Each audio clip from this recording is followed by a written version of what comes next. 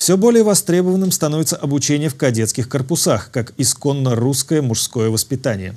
На территории Приволжского федерального округа работают четыре кадетских корпуса, в которых по общеобразовательной, военно-патриотической и спортивной программам учатся более тысячи подростков.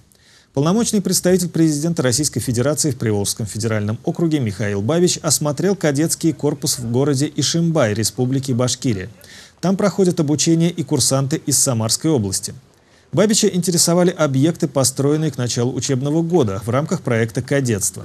Сейчас на территории кадетского корпуса имеется многофункциональный физкультурно-оздоровительный комплекс, воздушно-десантный город и спальный корпус, рассчитанный на 320 человек.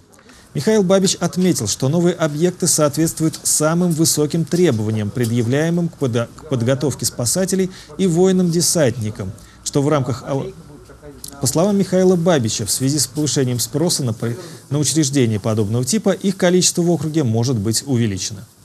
Это можно сегодня в современных условиях организовывать даже не в крупных городах, не в областных, не в республиканских центрах, а в городах э, что второго уровня. У наших э, коллег из других регионов появилось желание создавать аналогичные учебные заведения. Поэтому мы эту работу дальше будем продолжать.